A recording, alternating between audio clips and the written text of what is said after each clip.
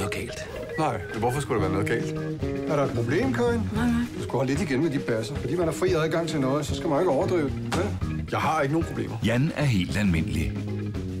Se din næse for fanden. Så uheldig er der sgu da ikke nogen, der er. Men du gik da også ind i en dør i sidste uge. Ja, i en dør. Det her var en havedør. Han bestyrer gourmetrestauranten på Sverigesbåden og har ikke noget at klage over. Det bedste, questi due signori. Hver aften kører han hjem til sin elskede Bente Mus. Lad være og kald mig mus. Slår hun dig? Hvad sagde du?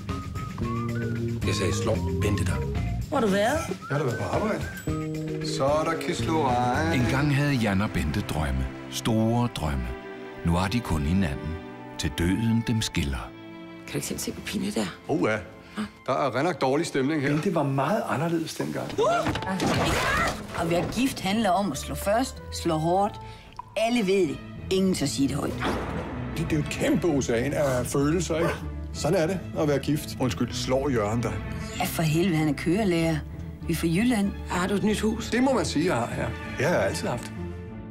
Back up. Jan, ved du godt, at du er den primære årsag til, at flere og flere tager broen over? Jeg tror, det er bedst, hvis du slet ikke arbejder for os mere. Ræk mig kartoflerne. Men ved du hvad, det har hjulpet. Ræk mig kartoflerne.